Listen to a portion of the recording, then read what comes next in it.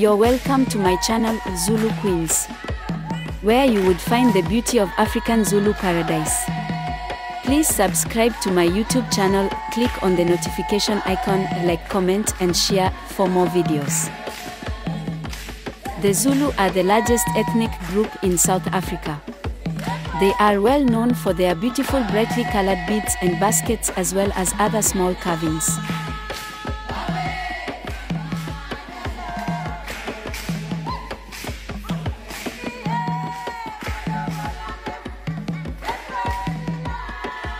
The Zulu believe that they are descendants from a chief from the Congo area and in the 16th century migrated south picking up many of the traditions and customs of the San who also inhabited this South African area.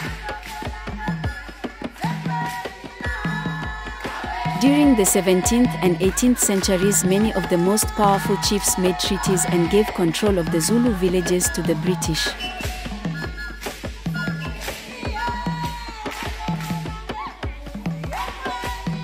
This caused much conflict because the Zulu had strong patriarchal village government systems so they fought.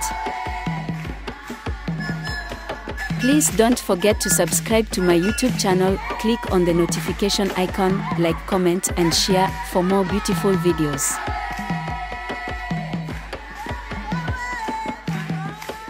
Irid dance is an ancient tradition of the Swazi and Zulu people with the aim of paying respect to women and preparation of girls to their womanhood.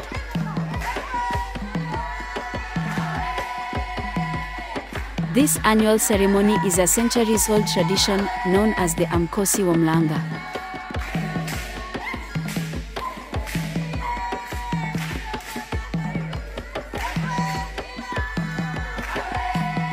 Please don't forget to subscribe to my YouTube channel, click on the notification icon, like, comment and share for more beautiful videos.